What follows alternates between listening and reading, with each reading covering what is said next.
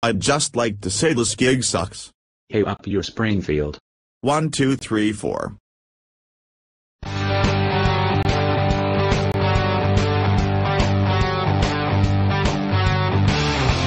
Yeah, rock and roll. Yeah, oh fuck you all. Shit, is over.